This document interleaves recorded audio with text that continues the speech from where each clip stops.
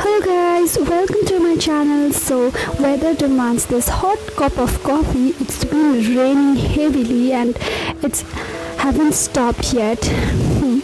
so yeah, that's my baby plant and our umbrella. So yeah, today also, no matter what, God is saying to you, rejoice in the Lord always. I will it again, rejoice.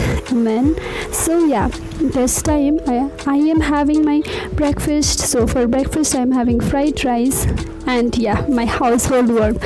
No matter how many times you work a day or how much you work, your house, household work never stops.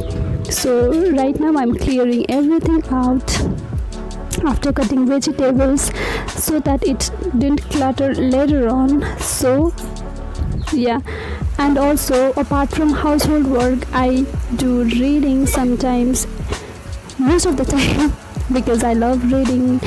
And also i journal because uh, journal keeps my mind calm and i i can pour everything in single paper and make my mind declutter because mind declutter is very very important at this time so yeah this other thing which keeps me calm patience most of the time. So yeah and also taking care of yourself is also very very important. Like you have to take care of your house. So to take a, take care of yourself is very very important. Self care is very very important. So here i am applying toner. And yeah sunscreen is very very important so do not miss this step and yeah these are the thing i do today. Thank you so much for watching